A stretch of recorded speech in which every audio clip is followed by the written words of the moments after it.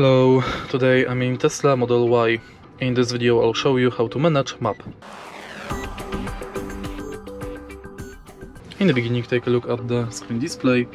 As you can see right here we've got the Google Maps available and now we can change map orientation. We can enable satellite display, check traffic info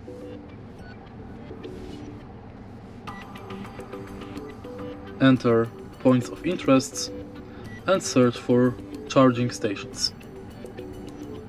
Next we can navigate to home, work, recent favorites, charging, hungry lucky and suggested.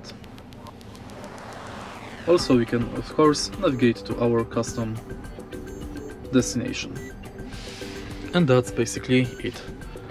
If you find this video helpful, please leave like, comment and subscribe.